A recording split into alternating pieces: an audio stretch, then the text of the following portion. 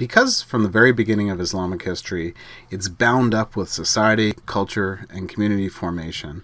So much of my teaching of Islamic history ends up being sort of one battle after the other, or, or one empire rising while another falls, or the political issues of state and culture and sometimes in the midst of that, we can get lost in some other aspects. And so I want to step out of the classroom just a little bit and have total freedom just to talk about uh, some uh, brilliant moments of Muslim architecture.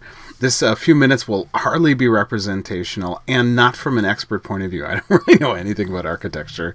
These are really kind of the places I want to go. And I've actually left off a number of the, the great uh, mosques and Islamic buildings that I have uh, seen in West Asia or in Europe. And so uh, it's really just to kind of give a flavor and to kind of show some of the kind of cool aspects of Islamic architecture that we uh, see within that uh, very rich world. Okay, so uh, nothing representational, just for the fun of it, uh, just for the beauty of it, um, but also because I think that some of these pieces actually show uh, illustrate the power of that societal formation in Islamic history, and and show kind of the movement between you know um, East Asia, uh, you know Ch Chinese empires or Mongolian empires, uh, in Western Europe uh, and the, those empire buildings and the architectural movements between them, uh, and how much of this came out of that great Islamic golden age that peaked before Europe uh, had its own Renaissance, Enlightenment, and Reformations. And so this will, I believe, give kind of some more culture and certainly some more color to uh, more traditional approaches to teaching Islamic history. Okay. Now, Okay, let's first uh, Tamerlane, of course, uh, the the you know Timur the Lame, uh, a, a, brilliant kind of architectural feat uh, takes place under Tamerlane's leadership uh, in uh, Samarkand, Uzbekistan, and and really a distinctive Muslim architectural style. The domes have been part of Islamic architecture from the beginning, representing that cosmic reality, maybe growing organically even before kind of an intellectual idea came out of it. Uh, and uh, you know, here in Uzbekistan, you get an example of this. This is actually a shrine, although uh, the the the buildings around it, you end up getting various teaching centers, mosques, community centers, and the like as part of that. This this uh, teal blue color is such a, a, sophisticated aspect of the Tamerlane architectural style. Here at Gur uh, Amir, um, the, which was uh, his shrine. Um, uh, this is an inside view. None of none of these pictures are, are my own, obviously. An inside view showing how uh, the ornate reality, uh, the tomb of Tamerlane, uh, has uh, intense and uh, intimate design features in, every inch of the mausoleum, every inch of the tomb. Uh, it's a it's a it's a um, a strange and beautiful uh, co complex of artistic um, materials. And we see here uh, another piece is actually just on the outside uh, against one wall uh, that we've got uh, some of this example of you've got the teal with the other kinds of blues that are mixed in to uh, quite a small tile work. Sometimes this ends up getting taken up with literature, Arabic literature, other times images, mythic images or artistic images. Here we have some symbolic things flowers, and other kinds of designs, but certainly a key part of this. Okay. All right, so uh, moving uh, from a tomb uh, to, I guess, a, a, castle, we might call it, uh, uh, and moving uh, quite across the Muslim world from Uzbekistan to Andalusia to Spain we have the Alhambra here. The Alhambra being, of course, a famous piece that sits in the back of much of European history. And as you can see, certainly a huge complex uh, that exists uh, here. Oops, um, a little bit out of. Uh, um, uh, you know, moving quickly kind of through this, we have this this gorgeous piece here inside the Alhambra. Uh, again, that architectural detail moving from the outside to the inside, and this is just one room of many within that complex uh, uh, that is the Alhambra in Spain. Here's another image uh, of uh, the uh, from the inside looking up. Just this incredible view here, leaning less upon the blues, but certainly not any less ornate and, and filled with gold imagery. I mean, the, these are buildings that took often a generation to build. And of course, uh, moving now south to India, uh, the Taj Mahal, uh, the great Mughal, uh, you know, the great Mughal piece of art that probably, uh, I mean, literally, it means that the the Taj Mahal means the crown of the palace, right? The Taj Mahal being, uh, I think, probably one of the best examples of, of Indian Muslim architecture. India today um, is uh, one of the largest Muslim countries in the world, uh, number two or number three in terms of Muslim population. And for the last 700 years has either not been led by uh, Hindu uh, leaders, except, except since um, the late 1940s, but has been led by either Muslim empires, uh, Muslim leadership uh, groups, caliphates, or um, by uh, Britain. and so we have here, uh, this uh, was a commission in 1632, though it took a whole generation to complete, finishing in the 1658, commissioned by the Mughal Emperor Shah Jahan. Uh, this was going to be the house of the tomb of his favorite wife, uh, Mumtaz Mahal. Now, uh, you should know that there's actually some scholars think that actually just built it for himself. But anyway, it's, it's kind of romantic, I suppose, to say, "Hey, dear, I'm gonna, you know, build you this remarkable tomb. It's going to take the resources of an entire generation and employ thousands of people and become uh, the jewel of the crown of Islamic architecture in the world." okay, so uh, it's a it's a 42 acre complex, a huge complex, includes mosque, guest houses, gardens, uh, as you can see here, and really is kind of a picture of paradise, kind of in architectural form of an Islamic view of uh, paradise. Okay. Um, yeah, so uh, this is a, a, gorgeous piece. I would love to go and see the Taj Mahal, as many millions of people do each day. This is actually the main uh, uh, gateway uh, Darwaza to the Taj Mahal. So um, I don't know what your front door looks like, but this I think is a pretty impressive, uh, impressive piece of architecture. Uh, this is a Western building. Uh, it's a mosque and it faces the tomb, so it's on the opposite side of that large plaza between the two buildings. And I and this is a kind of a terrible picture, but here I just grabbed some pictures of various kinds of design elements within and outside of the Taj Mahal. You can see you know the friezes, uh, the the complex uh, design on you know that make up mosaics, literature, floral designs, uh, as well as different um, kinds of ceramics. Okay, now now and it's it's just a, an intriguing place. I, I can't wait to go. Now moving uh, north and a bit west to uh, to uh, Iran. This is just a quick picture to capture this gorgeous imagery of Nasir al-Mulk Mosque in Shiraz. Uh, I, I think this is just incredible. I, I don't know how one could just uh, concentrate in prayer in this sort of place without just looking all the time and seeing the glorious light that comes in. Uh, certainly stained glass becomes a European feature.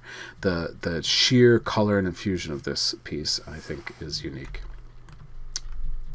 And we also have, um, uh, moving uh, west again to Turkey, to Edirne. Uh, in Turkey, uh, this is the uh, Selimiye Mosque, okay, built um, built I believe in the period of Suleiman the Magnificent, uh, a really important uh, part and written or written and designed by uh, this uh, particular um, architect here. Uh, um, Sinan, who actually this would really, I think, be a a influence upon like the Taj Mahal and some other architectural styles. Really, kind of one of the best that you can get uh, in uh, Turkey, uh, and uh, really defines the Ottoman Empire. The, their their sense of grandness, their sense of of, of um, symmetry, the the color, uh, and where there is austerity, as you can see this this um, um, palace it looks like, but it's a mosque, has uh, both austerity and audacious design elements in it it, and you can kind of see that here, where there's a kind of plainness or white space that's used to contrast the ornate qualities that we get. Uh, and you don't always get that, and as we've seen in the other pictures, where every inch is filled with with color and design elements, uh, that's not always the case here. Um, in uh, in this, what becomes the defined Ottoman style. Okay. Um, Damascus in Syria, one of the great uh, the great cities of the ancient world, Damascus, and uh, unfortunately beleaguered in the last the, the last few years uh, since the rise of the Islamic State in in, uh, in Iraq and Levant, ISIL or ISIS. Uh, but uh, Damascus, one of the earliest uh, places uh, for development of Islam. This is a picture at nighttime of the Umayyad Mosque, and here's a picture from a different angle of the daytime. Um, and this treasury here that you can see in the picture that's foregrounded also has design elements that connected back to Mecca, so that there's a way of knowing what way to face, uh, what way to begin Hajj, what way to face in prayer. Uh, and so, really, kind of an important uh, feature of, of mosques that exist throughout the world. You can see again the ornate stuff, but then there's an ancientness to the brick. This is an early mosque. It's not built primarily out of wealth, but primarily primarily out of devotion uh, in this particular period. Here's a picture on the inside. uh, where you can see that uh, there's some people reading here, but this is be people will gather for prayer. Uh, mosques, of course, also work as uh, community centers uh, and uh, really become the center of the Islamic community in whatever place that they develop. You can also see, I mean, Corinthian columns, right? So, you know, the Islamic world grows up, you know, right next, I mean, smashed between the Byzantine Empire uh, the, the, you know and um, in the west of the Islamic world and the Sassanid or Sassanian Empire, the Persians in the east of that world grows up in the midst of that, and so really there are influences that you can find from the Mediterranean and the Greco-Roman world. Now, moving quite some distance now to Africa, to Mali, uh, to Djenné. This is the Great Mud Mosque. And I don't really have anything else to say about that except look at this. This is the Great Mud Mosque. It's a, mosque, it's a giant sandcastle mosque. Uh, and each year at a certain point, uh, after the rains come, the villagers in Djenné get together and uh, they create a mud and they basically cake their mosque uh, and and give it another year of growth. Now there, you know, it's in constant um, decay uh, from the elements. When there's an off-season rain or storm, uh, you can lose parts of the mosque that have to be rebuilt. Uh, the, the, it cakes and, and cracks in the sun, and it has to be kind of recovered each year. And the mosque, you know, as a as a result, evolves at a much quicker rate than really you know those great palaces of stone and marble and gold that we have seen uh, in some of the other pictures. Know, it's a pretty pretty remarkable uh, piece here, and so you can actually look through history at the paintings and pictures of this mosque, and it's changed quite a lot over time. And there's some kind of intuitive design elements too, like so there's an ostrich egg at the top of each of these um, pinnacles. I believe it's an ostrich egg. It may be artificial at this point, but uh, you know you could say that's a visual design element, but at one point that may also have been directional. But in any case, what it has done, architecturally speaking, is actually keep rain and the elements off of the the one um, most tender spot in in a pinnacle of this type where uh, and so it actually uh, moves the water and the the movement of the heavy rains that come in torrents around that particular piece and then down the edges of uh, of the tower. So it's pretty cool pretty cool mosque. Djenné Mali i can't wait to go see that All right. Now, this is the uh, Sheikh Zayed uh, Grand Mosque um, in the United Arab uh, Emirates. Excuse me. And uh, this is, I think, I think about as contrasting of this as you can possibly get. I, I just can't imagine a greater contrast. I mean, just the richness of this. But notice it's not ornately filled, every detail is filled, but they allow the whiteness of the stone, the marble, and the simplicity of design to speak while still communicating in a fusion. Now, if you don't think of this as a rich place, if you can't think of this as a rich place, uh, Abu Dhabi, uh, here's an example of the inside. Is that something? Can you imagine uh, just uh, this uh, glorious? I mean, it looks like a palace, um, um, but it's a, it's a grand mosque that, that has been sponsored uh, and then built um, with a whole different kind of architecture. Uh, now, uh, it's not just mosques in the uh, or palaces in the Islamic world uh, and community centers, but you also get things like bathhouses. I don't don't really know a lot about bathhouses. I've never been to like a Turkish bath or something like that. Uh, uh, that that's that wasn't just a ruins. I've been to some ruins, but here's the Sultan Amir Ahmed uh, bathhouse in Kashan in Iran. Um, and just to kind of give you a sense of the beautiful design, I mean, talk about bathing in beauty. I, I hop in and out of the shower and I'm pleased to have hot water in my world. But look at the, the beauty and the construction of this particular piece. And you can also see elements of new and old as technologies develop. Here's another picture uh, from within the same bathhouse, but from a different uh, particular bath. Uh, this uh, uh, gold just filling the room, but then the water and the pool being the center of it. Okay. going to Alexandria, uh, in Egypt, a, a, different kind of picture. Uh, Egypt uh, is known for its ancient history. it was conquered by early Islamic um, um, generals uh, during the period of the Rashidun Caliphate, the early companions of the Prophet, in which, and then finally a peace agreement was struck and Muslims ruled uh, through the centuries after that point. Various kinds of empires, but early on there's development. In Alexandria, that great city of first the Jews, then that great city of the Christians, then becomes a Muslim uh, city in the 7th and 8th century. This is the Abu al-Abbas al-Mursi uh, mo- uh, Mosque in, in Alexandria, and just a quick picture of the inside. You can see the carefully designed uh, mat spaces for Muslims to be able to pray during one of their five daily prayer times so if they come to the mosque to pray. Uh, but also this uh, huge uh, there's a, still a sense of ornateness and grandeur there. On the outside what a striking difference in color though the design elements kind of move one to the other.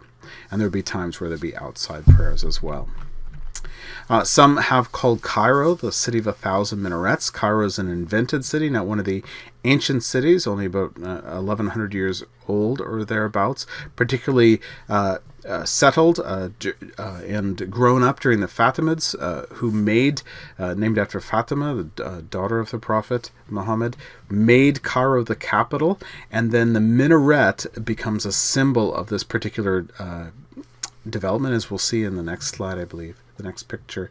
This one I think is such an interesting angle because you have the industrial city, the city with all its communication technologies, buildings, and all of that, between a Muslim minaret on one side and then the ancient tombs, you know, of the kings of Egypt, the, the pyramids that exist uh, out there um, in, in the desert. So a, really interesting uh, contrast. Really interesting contrast. Okay, here's uh, a city of Cairo uh, in its all all its more modern brilliance, but uh, Sultan Hassan Mosque uh, in the foreground. See the number of minarets that exist there, and this kind of as well as the gardens, and so you see this kind of ancient reality that sits in such an interesting contrast to Cairo, which is a modern, uh, growing, developing city. There's a new economic and government uh, center that's been built outside the city on the other side of the city, and such a, uh, uh international place of of uh, you know what is meant to be a 21st century city, but still we have this eighth, ninth, 10th century kind of world within it. Uh, this particular mosque is not terribly old, uh, 1359, uh, but uh, really kind of important to the world of, of Cairo. Here's a picture on the inside. Of, of this. And you can see such a contrast too right? The outside and then the inside. And this world of you know reminds you that there's a world of prayer a world of devotion that's part of that reality. Now, this is Al Rifai uh, in Cairo. Uh, this is just actually a few steps next to the Sultan Hassan um, mosque that I just mentioned uh, before, and a really interesting contrast. This one, in a sense, looks older, but it's actually uh, uh much newer. This is a 19th century uh, a building that took a whole generation. This came after reforms by Muhammad Ali through Egypt to reform culture, uh, reform religion, uh, and this is one of the pieces that was built on to support that particular reform in Cairo. Okay. Um, the Al Rafai Mosque also hosts uh, the name of the, uh, the you know Al Rafai, uh, the the Sheikh uh, Al Rafai, uh, and uh, in the name of this me- medieval Islamic saint, I guess would be the right word, a key figure. There's also a mausoleum for the Shah of Iran, and and so on. So uh, this is the mausoleum picture here, and you can see there's obviously a tourist uh, attraction that there now. And I'm actually really kind of struck by the echo of these walls, quite distinctive from the ancient Egyptians, and yet there's something that kind of evokes it for me, the way that the stone and the colors and the images work. Not quite telling the pictures, um, but uh, different than um, sort of the richness that we get in typical kind of Islamic design that we would see there. Now this is Al Hasar, sorry, Al Azhar. Uh, also in Cairo, um, uh, the like well over a thousand years old, established in 970. Uh, one of the original uh, places that we see that's uh, designed um, within that early Egyptian empire, uh, and and the way that it wants to distinguish itself from the Muslim world, but also from Coptic Christians, who were still a large percentage of the population uh, 1100 years ago or 1050 years ago. Uh, here's a, a different view. Uh, um, a different part of Cairo, and of course, Al Azhar is a, a university. May, maybe one way of putting it might be the oldest university in the world. Although there's really some debate over how that would work, right? Um, this uh, is a mosque, uh, Ibn Tulun's mosque, and, and probably the oldest surviving mosque in Cairo from 884. So I suppose before it was officially the capital of the Fatimid Caliphate. But in any case, uh, this particular um, mosque, in its simplicity, made from you know sandstone, uh, used for usefulness, has survived in the you know 11 you know 1136 years uh, from that point to the point of this video. Okay here's a different uh, image of it uh, one that um, uh, shows its particular structure but it's not without design right you can see the ornate nature of this particular work in stone here um, and there are some ancient aspects of it that are held, uh, uh, you know, completely or as much as possible uh, in the original state, as you can see here, not fully restored, but left to look in its ancient glory.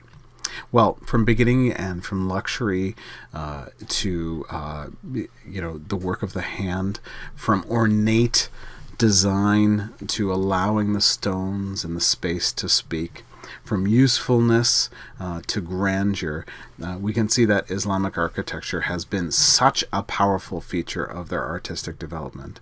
When you have a religion that is pulling itself away from images of, of people in the divine, it's going to speak in other ways, and one of the ways it speaks is through the artistic, scientific, architectural, uh, the architectonic, the, the design elements, uh, the use of color and space, the you know the sense of bringing earth and heaven together into conversation, of connecting the local people throughout the world back to Mecca.